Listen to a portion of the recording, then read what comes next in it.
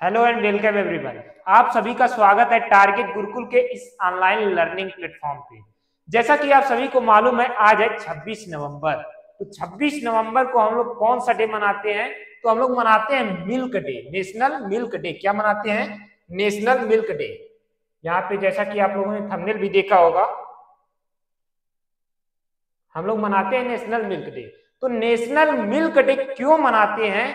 और क्या क्या इसकी उपलब्धियाँ थी, इन सभी चीज़ों के बारे में इस वीडियो में चर्चा करेंगे। ये सेशन जो है बहुत ही स्पेशल होने वाला है। उससे पहले हम आपको बता दें कि अगर आप किसी भी यूनिवर्सिटी से, अगर एग्रीकल्चर से तैयारी कर रहे हैं या फिर अदर कोर्सेज की तैयारी करना चाहते हैं एंट्रेंस एग्ज़ाम हो या फिर सेमेस्टर एग्ज़ाम हो तैयारी करना चाहते हैं तो बिल्कुल आप हमारे टारगेट गुरुकुल मोबाइल ऐप को डाउनलोड करके ज्वाइन कर सकते हैं। हमारे बेहतर टीचर्स के साथ जुड़ सकते हैं। तो चलिए अब हम स्टार्ट करते हैं, बात करते हैं कि नेशनल मिल्क डे क्यों मनाते हैं? एक एक चीज़ें हम इसमें बात करेंगे। तो 26 नवंबर को हम लोग मनाते हैं नेशनल मिल्क डे ये चीज़ें आपको पता होनी चाहिए। देखिए, कोई भी एग्ज़ाम हो, चाहे आप यूपीएससी का एग्ज़ाम दे रहे हो, चाहे छोटा सा आप कोई एंट्रेंस एग्ज़ाम दे रहे हैं, उसमें इस टॉपिक से क्वेश्चन आते ही आते हैं। ठीक? इसलिए हमने सोचा कि आज मिल्क डे है तो इस पे हम कुछ अच्छा सा बच्चों को ज्ञान देते हैं। ठीक? इसलिए हम ये वीडियो बना रहे हैं। तो वीडियो को आप लोग पूरा वॉच करिएगा और अपना फीडबैक जो है, हमें कमेंट बॉक्स में दीजिएगा। ठीक? चलिए स्टार्ट करते हैं हम लोग। तो नेशनल मिल्क डे हम लोग क्यों मनाते हैं? तो नेशनल मिल्क डे इस दिन इस दिन मीन्स ये इनको आप पहचान रहे होंगे, ये हैं डॉक्टर वर्गीज कुरियन, इनका जो है जन्मदिन। था जन्म इसी दिन हुआ था, कब हुआ था? 26 नवंबर सन 1921 ईस्वी में हुआ था। कब हुआ था? 1921 ईस्वी में इनका जन्म हुआ था। ठीक? इतनी चीज़ें आप जान गए कि हम लोग क्यों मना रहे हैं? क्योंकि इनके बर्थडे पे मना रहे हैं। ये कौन है? ये इनकी क्या उपलब्धियाँ थी? आगे हम बात करेंगे। वैसे तो आज आपका संविधान दिवस भी मनाया जाता है तो संविधान दिवस का वीडियो अभी आपको मिल जाएगा कुछ देर में। उसे भी आप लोग देखिएगा, क्योंकि देखिए अगर आपको नॉलेज चाहिए, ठीक? नॉलेज चाहिए, क्योंकि नॉलेज तो सबको चाहिए आज की दुनिया में, अगर आपके पास नॉलेज नहीं आप कहीं ना कहीं बहुत पीछे हैं। तो इसलिए कहीं भी, कहीं से भी नॉलेज मिले, आज उसे क्या करिए अटेम्प्ट करिए। वैसे आज इतना अच्छा दिन है, उस पर आप क्या करिए, ये नॉलेज लीजिए और संविधान दिवस पे भी आप नॉलेज लीजिए, ठीक? अब हम बात करते हैं कि ये कौन है तो ये डॉक्टर वर्गीज कुरियन है। इनके जन्मदिन पर हम लोग नेशनल मिल्क डे मना रहे हैं। वर्ल्ड मिल्क डे नहीं नेशनल मिल्क डे की बात हम कर रहा हूँ। ठीक? तो ये डॉक्टर वर्गीज कुरियन है। तो इनका सबसे बड़ा योगदान क्या था? मिल्क के क्षेत्र में, यानी दुग्ध उत्पादन के क्षेत्र में इनका सबसे बड़ा योगदान था। ठीक है? इनका सबसे बड़ा योगदान किस क्षेत्र में था? मिल्क के क्षेत्र में। ठीक? तो इनको हम लोग किस नाम से जानते हैं? मिल्क मैन ऑफ़ इंडिया किस नाम से जानते हैं भैया? मिल्क मैन ऑफ़ इंडिया यानी कि ये इंडिया के क्या थे? मिल्क मैन थे। ठीक? कौन थे? डॉक्टर वर्गीज कुरियन। ठीक? तो इनके अगर हम जन्मदिन की बात करें तो इनका जन्म कब हुआ था? 26 नवंबर को। 26 नवंबर सन 1921 ईस्वी में इनका जन्म हुआ था। वैसे अगर हम बात करें तो आज आप देखते होंगे कि भारत पहला रैंक लेके आ रहा है किस क्षेत्र में? दुग्ध उत्पादन के क्षेत्र में। अगर इसका क्रेडिट किसी को दिया जाता है तो दिया जाता है डॉक्टर वर्गीज कुरियन को। ये है आपका मतलब ओवर ऑल वर्ल्ड में अगर फ़र्स्ट रैंक किसी की है तो इंडिया की। ये भी क्वेश्चन आते हैं।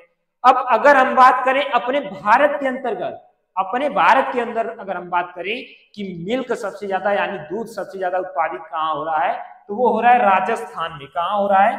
राजस्थान में, ठीक है? राजस्थान में क्या हो रहा है? सबसे ज़्यादा मिल्क उत्पादन हो रहा है। ठीक? कई कई किताबों में आपको यूपी मिल जाएगा तो आपको बता दो कि ये लेटेस्ट डाटा डाटा है, इसलिए मैं बता रहा हूँ, इसके पहले यूपी था। इस समय यूपी जो है सेकेंड नंबर पे आता है मिल्क उत्पादन में। ठीक? इतनी चीज़ें आप जान गए। अब आगे हम बात करते हैं भाई, जो ये आपके डॉक्टर वर्गीज कुरियन थे, इनका जन्म तो आप जान गए कि 26 नवंबर 1921 को हुआ था। कहा हुआ था? तो ये कोजिकोड कोजिकोड का अगर आप नाम सुने होंगे तो वहीं पे इनका क्या हुआ था? जन्म हुआ था। ठीक, अगर इनकी हम उपलब्धियाँ की बात करें तो एक, जैसे आपको अन्य क्षेत्र में नोबेल पुरस्कार दिया जाता है, लेकिन एग्रीकल्चर के क्षेत्र में नोबेल पुरस्कार नहीं दिया जाता है। तो एग्रीकल्चर के क्षेत्र में क्या दिया जाता है भाई?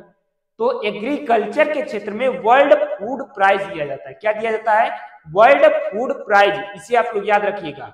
ये सेम जैसे नोबेल पुरस्कार का जितना स्थान है, योगदान है ठीक उतना स्थान किस, किसका है? वर्ल्ड फ़ूड प्राइज का ठीक? तो 1989 में हमारे महान वैज्ञानिक डॉक्टर वर्गीज कुरियन को क्या दिया गया था? वर्ल्ड फ़ूड प्राइज दिया गया था। और अगर इनकी हम मृत्यु से बात करें तो इनकी मृत्यु कब हुई थी? 9 सितंबर 2012 में। कब हुई थी? 9 सितंबर 2012 में इनकी क्या हुई थी? मृत्यु हुई थी। ठीक? इतनी चीज़ें इनके बारे में रहा, फ़िलहाल। बाकी तो और चीज़ें हैं, इनकी शिक्षा शिक्षा सब कुछ है। लेकिन आगे अगर हम बात करें तो इनका योगदान और कहा रहा? ये फादर ऑफ़ व्हाइट रिवोल्यूशन कहे जाते हैं। रिवोल्यूशन का मतलब इसको हम लोग जानते हैं ऑपरेशन फ्लड के नाम से। फ्लड के नाम से अब क्या समझ फ्लड के नाम से यही समझ में आ रहा होगा कि ज़्यादा से ज़्यादा फ्लड यानी बाढ़ आ गई। किसकी बाढ़ आ गई? दुग्ध की। ठीक? दुग्ध की बाढ़ आने का मतलब ज़्यादा से ज़्यादा उत्पादन होने लगा। ठीक? रिवोल्यूशन की बात यही होती है कि बड़े स्केल पे ज़्यादा से ज़्यादा उत्पादन होना ही रिवोल्यूशन कहलाता है। ठीक? अब हम बात करते हैं इनके योगदान के बारे में। तो इनका योगदान सबसे ज़्यादा अगर देखा जाए तो व्हाइट रिवोल्यूशन यानी ऑपरेशन फ्लड में था। किसमें था? व्हाइट रिवोल्यूशन ऑपरेशन फ्लड में था।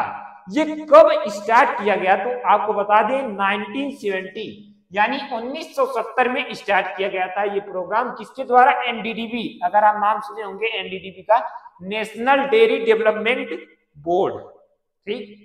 नेशनल डेयरी डेवलपमेंट बोर्ड इसका फुल फॉर्म होता है। इसके द्वारा क्या किया गया? ये जो है, रिवोल्यूशन स्टार्ट किया गया, ठीक? कर, world largest dairy development programme था। सबसे बड़ा ये डेयरी डेवलपमेंट प्रोग्राम था। कौन सा प्रोग्राम?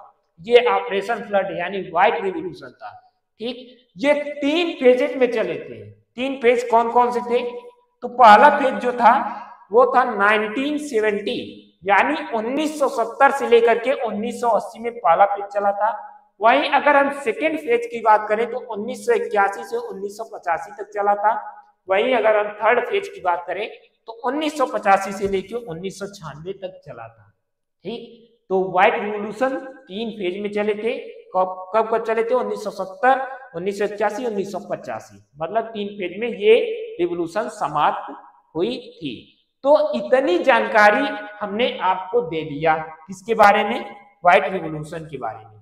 ठीक? तो इतनी अगर आप कोई भी एग्ज़ाम देने जाते हैं या फिर यूपीएससी क्यों ही ना हो, या फिर कोई भी सब्जेक्ट आप पढ़ रहे हो तो उसमें क्या है? यहाँ से क्वेश्चन बनते हैं। तो वीडियो को क्या करिएगा? ज़्यादा से ज़्यादा शेयर करिएगा और अपनी राय ज़रूर कमेंट बॉक्स में लिखिएगा। और हाँ इस दुग्ध अवसर पे कुछ अलग ज़रूर करिएगा। Thank you